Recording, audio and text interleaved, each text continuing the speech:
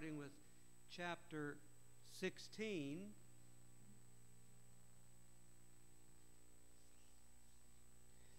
I'll be doing as I have been all through this, is reading brief selections from each chapter.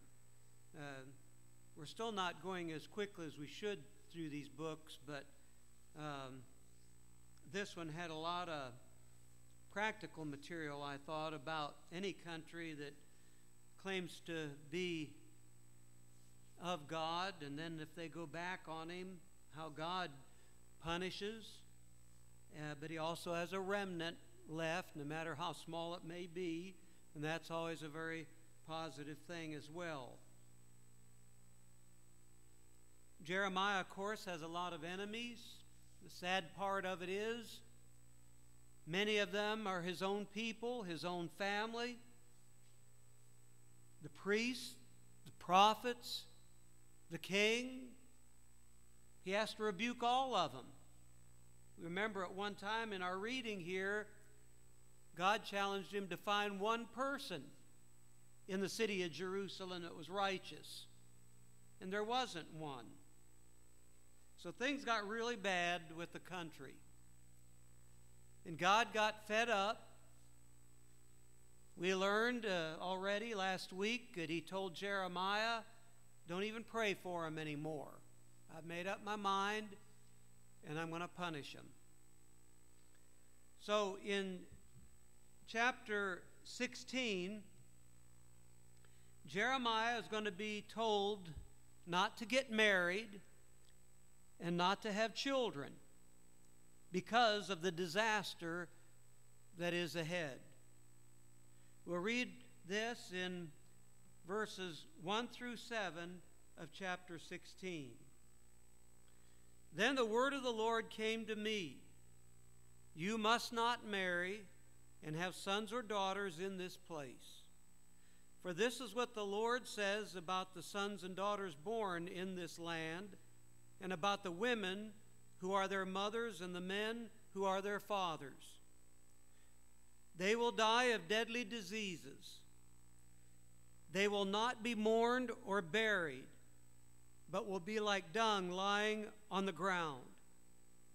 They will perish by sword and famine, and their dead bodies will become food for the birds and the wild animals.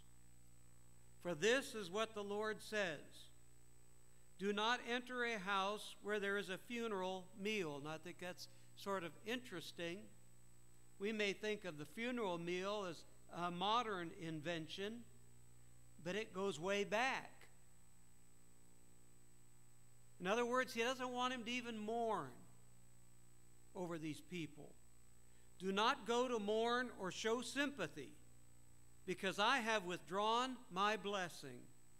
My love and my pity from this people, declares the Lord. Both high and low will die in this land. They will not be buried or mourned, and no one will cut themselves or shave their head for the dead. That's showing grief. No one will offer food to comfort those who mourn for the dead, not even for a father or a mother, nor will anyone give them a drink to console them. Now, in verses 10 through 13 of chapter 16, we're going to see the answer that Jeremiah is supposed to give the people when they ask, Why did God let this happen or do this? Now, God did not only let it happen, we're going to see in various verses, He said, I personally am involved in doing this to you. Now let's notice here, starting with verse number 10. When you tell these people all this and they ask you, that's God saying that, why has the Lord decreed such a great disaster against us? What wrong have we done? Now, the Bible, through Jeremiah and all the prophets, have listed the atrocious sins of these people. And yet they were blind to it all. What wrong have we done? What sin have we committed against the Lord our God? Then say to them, It is because your ancestors forsook me, declares the Lord, and followed other gods and served and worshiped them. They forsook me and did not keep my law. But you have behaved more wickedly than your ancestors. See how all of you are following the stubbornness of your evil hearts instead of obeying me?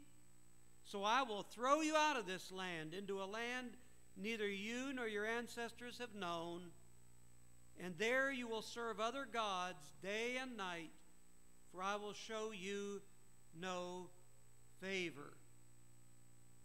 In chapter 17, as it starts out in verse number 4, God is putting the whole blame on the people. In other words, don't look to me and say it's my fault. Now look at verse 4 of chapter 17. This is God speaking. Through your own fault, you will lose the inheritance I gave you. I will enslave you to your enemies in a land you do not know, for you have kindled my anger, and it will burn forever. However, as I said, there's always a light at the end of the tunnel with God. Look at verses 7 and 8. As the Lord addresses those blessed ones who trust Him. Verses 7 and 8. But blessed is the one who trusts in the Lord, whose confidence is in Him. They will be like a tree planted by the water that sends out its roots by the stream. It does not fear when heat comes, its leaves are always green. It has no worries in a year of drought and never fails to bear fruit. Now, in verse 10, we're going to notice that the Lord rewards people according to their conduct. Not what they say, but what they do. It's easy for people to say the right things, even religious people. It was proven that Jeremiah's people were doing the right things when it came to temple worship, right down the line.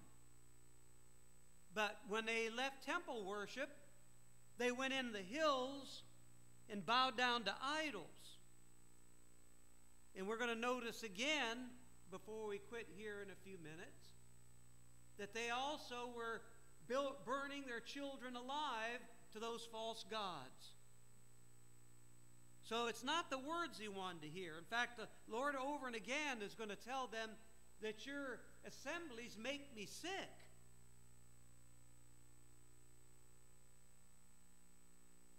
Now, let's notice verse 10 of chapter number 17. I, the Lord, search the heart and examine the mind to reward each person according to their conduct, according to what their deeds deserve. So that's very, very important that our deeds match our faith, our deeds match our words. As we examine chapter 18, I'd like for you to start with verse number 11. And notice there's a call for the people still to repent. God lets them have a chance to repent up to the last minute. They have an opportunity to do so, but they don't take it. Look at verse 7 all the way through 12.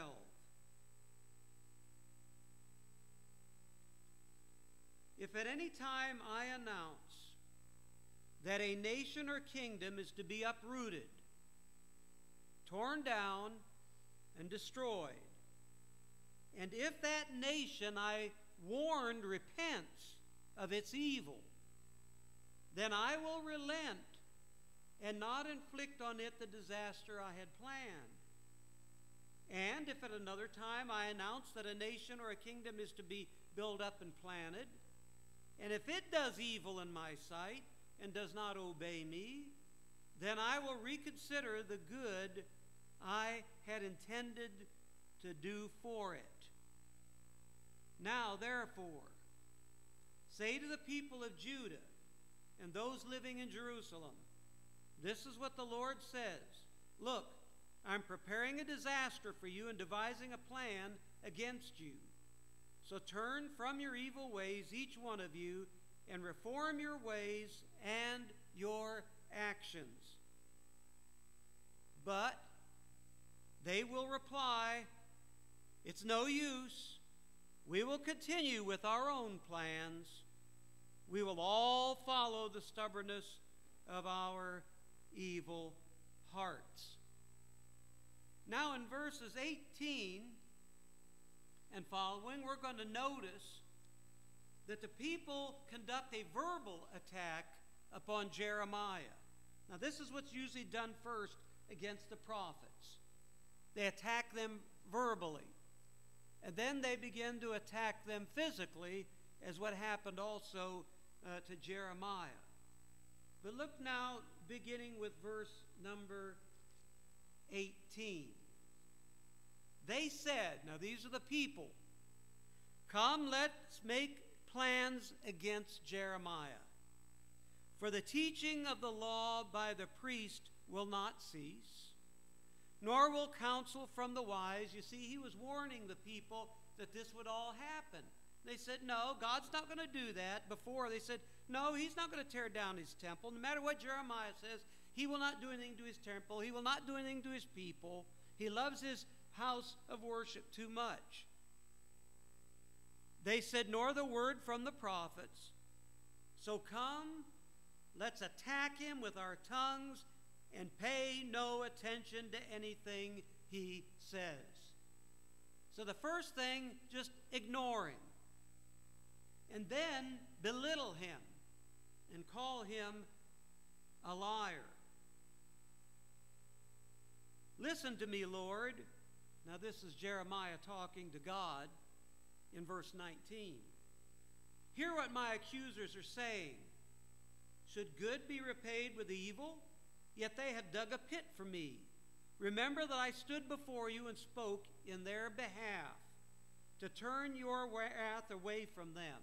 You see, he kept trying to defend them before God, but there was just no defense. I mean, they just they were just too bad. So give their children over the famine. That's what he's saying now to God. Hand them over to the power of the sword.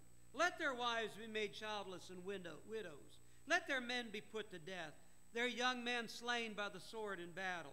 Let a cry be heard from their houses. Now see even Jeremiah getting fed up. When you suddenly bring invaders against them, for they have dug a pit to capture me and have hidden snares for my feet. And that's exactly what they did. They threw him in a pit.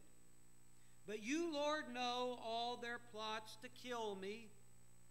Do not forgive their crimes or blot out their sins from your sight.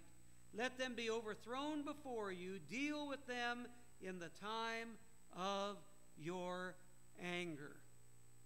So even now, Jeremiah is starting to finally notice what God was telling him all along. Quit praying for them, quit defending them, get out of my way. I'm going to abolish them. Now, notice in chapter 19, starting with verse 5, we reiterate again some of their sins. Look at verse number 5. God is speaking to them through Jeremiah. They have built the high places of Baal to burn their children in the fire as offerings to Baal, something I did not command or mention, nor did it enter my mind. So beware the days are coming, declares the Lord, when the people no longer call this place Topheth or the valley of Ben Hinnom, but the valley of slaughter. Verse 7 In this place I will ruin the plans of Judah and Jerusalem. I will make them fall by the sword before their enemies, at the hands of those who want to kill them.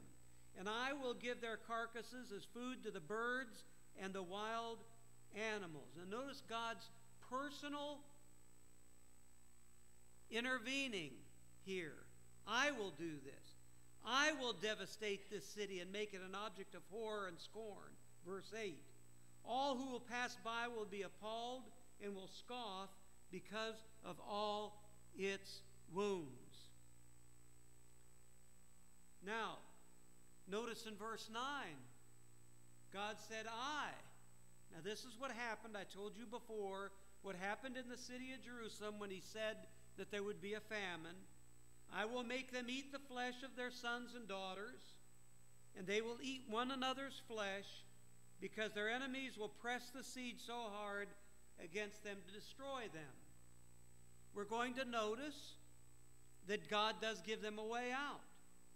He tells Jeremiah, Tell the people if they get out of town, get out of Jerusalem, they will avoid all of this. They don't even listen to that. He's trying to, trying to warn them. But, but they won't even listen to that. And now I want you to look in chapter 20, starting with verse 1, how the priest in charge of the temple was against Jeremiah. I mean, everybody is against him the priests, the politicians, the people. Look at verse number 1 and through verse 4. When the priest Pashur, son of Immer, and the official in charge of the temple of the Lord, heard Jeremiah prophesying these things, he had Jeremiah the prophet beaten and put in stocks at the upper gate of Benjamin at the Lord's ta- uh, temple. The next day, when Pashur released him from the stocks, Jeremiah said to him, The Lord's name for you is not Pashur, but terror on every side. For this is what the Lord says I will make you a terror to yourself and to all your friends. With your own eyes, you will see them fall by the sword of their enemies. I will give all Judah in the hands of the king of Babylon, who will carry them away to Babylon or put them to the sword. I will deliver all the wealth of this city to the hands of their enemies, all its products, all its valuables, all the treasures of the kings of Judah. They will take it away as plunder and carry it off to Babylon. Now, Jeremiah in verses 7 through 9 complains to God. Notice this. He's accusing God of deceiving him. That's so funny how us humans talk to God, isn't it? Jeremiah said in verse 7, chapter 20, You deceived me, Lord, when I and I was deceived. You overpowered me and prevailed. I am ridiculed all day long. Everyone mocks me. Whenever I speak, I cry out, proclaiming violence and destruction. So the word of the Lord has brought me insult and reproach all day long. However, even in his complaint, he begins to say things like this in verse 9. But if I say I will not mention his word or speak any more in his name, now this is a compulsion. He, he, he doesn't like this idea of being persecuted for preaching. But he has this fire in his heart, this compulsion that he has to do it.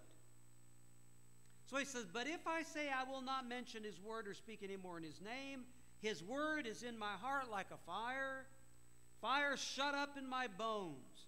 I am weary of holding it in. Indeed, I cannot. I hear many whispering terror on every side. Denounce him. Let's denounce him. All my friends are awaiting for me to slip, saying, Perhaps he will be deceived. Then we will prevail over him and take our revenge on him. We've already seen where his family was against him. Now we see his friends are against him. The priests are against him. Uh, all the politicians were against him. And I guess he thinks even God is against him. But yet, he has a little change of tune in verse 11 as he approaches God. But the Lord is with me like a mighty warrior, so my persecutors will stumble and not prevail. They will fail and be thoroughly disgraced. Their dishonor will never be forgotten. The Lord Almighty, you who examine, Lord Almighty, you who examine the righteous and probe the heart and mind, let me see your vengeance on them. For you I have committed my cause. And even in verse 13, then, he begins to praise the Lord. Sing to the Lord, give praise to the Lord. He rescues the life of the needy from the hands of the wicked. But then he goes back into self pity. He goes back and forth. Now, James, in his little book in the New Testament, talks about a double minded man that's unstable in all his ways. It seems like here that Jeremiah is a little bit unstable. But then when I think of it, I think I'd be a little unstable myself if I was in the exact position he was in. I mean, I've been in un- unstable in a lot less situations than this. But notice what he says in verse 14 of chapter 20. Cursed be the day I was born. May the day my mother bore me not be blessed. Same kind of language that Job used. Cursed be the man who brought my father the news about his birth, who made him very glad, saying, A child is born to you, a son. May that man be like the towns the Lord overthrew without pity. May he hear wailing in the morning, a battle cry at noon. For he did not kill me in the womb. He just wished he was killed in the womb. With my mother as my grave, her womb enlarged forever. Why did I ever come out of the womb to see trouble and sorrow, to end my days in shame? So the Bible's very honest. God is very honest about his people. He shows the good side and the bad side. He did with David. Uh, he did with Solomon. He, he did uh, with Abraham and Isaac and Jacob. He did with the disciples. Uh, he didn't uh, color them perfect. He showed the bad side, and I'm glad he did because that's the way I am too.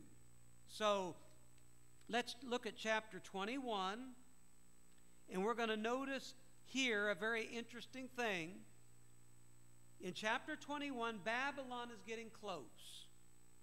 They're starting to do some damage. They're not in town yet, but they're starting to do some damage in Judea, and the people are finally waking up. In verses 1 and 2, the king and some priests are asking Jeremiah to go to God for a miracle. Now, this is very interesting reading. Look at verses 1 and 2 first of chapter 21. Zedekiah is the king. The word came to Jeremiah from the Lord when King Zedekiah sent him to Pashur. We already read about that uh, priest who uh, threw him in jail. Son of Malchijah, and the priest Zephaniah, son of Maaseiah.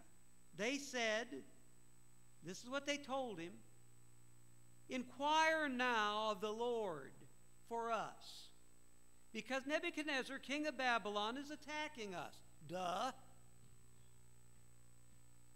Jeremiah was telling them every minute what was happening.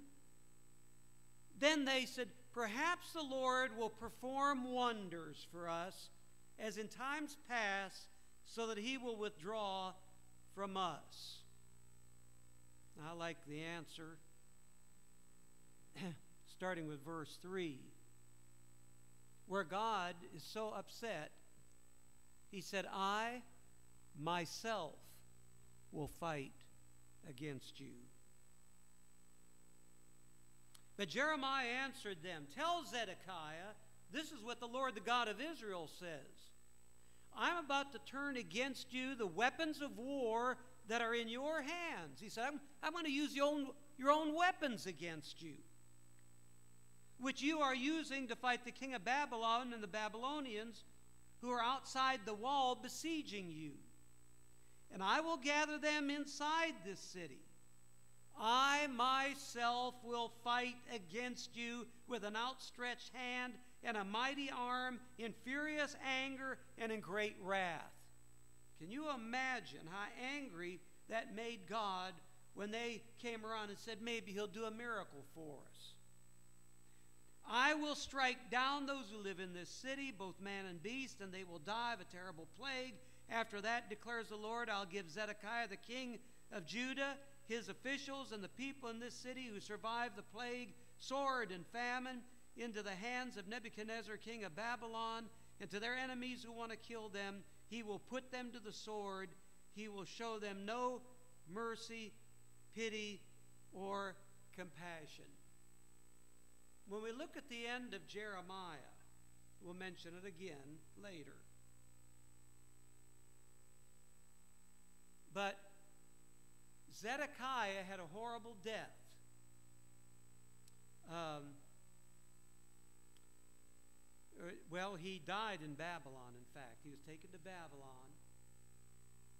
But Nebuchadnezzar personally, because Nebuchadnezzar let Zedekiah reign there in Jerusalem. But he tried to revolt against Nebuchadnezzar. So Nebuchadnezzar personally took his young sons, stood him before him, and murdered them. Then he gouged out the eyes of Zedekiah and took him to Babylon. And there he died. So we see in chapter 21 and verses 8 through 10, God giving them an opportunity to get out.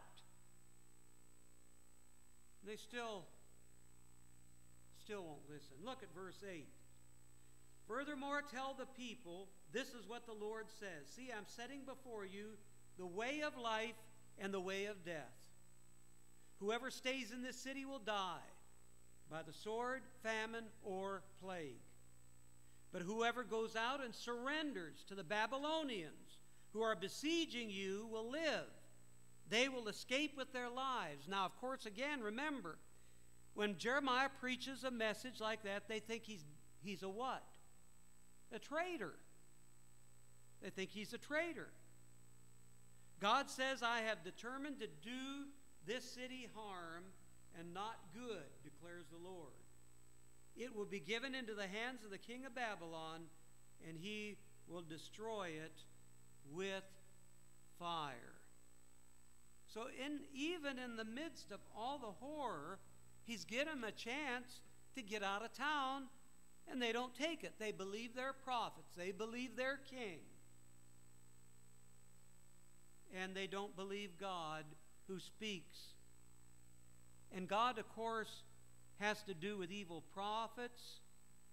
And uh, we see that in chapter 23. But quickly, let's look at, well, we can't. I've got to quit. I didn't realize. I had us down for chapters uh, down to 23, but I'm not going to take time for that. It's, I didn't realize it was a little bit after 8. I get long winded. Uh, so uh, I'll pick up with 22, and we're going to see there how God judges all the kings Shallum, Jehoiakim, and Jehoiachin. And the odd thing is, and I'll, I'll, this will be my closing statement these are children and grandchildren of the great King Josiah, one of the best kings of Israel. He had before him two of the worst kings of Israel his grandpa Manasseh, and then his father was wicked, wicked, wicked. But he himself was one of the best kings. Then his children were wicked. And so uh, we see that his children and grandchildren, who become the next three kings, uh, there's judgment on them. And then there's some hope in chapter 23 as he talks about a prophecy of Jesus, and we'll look at that next time. Is there anything you want to comment on about the reading we had tonight?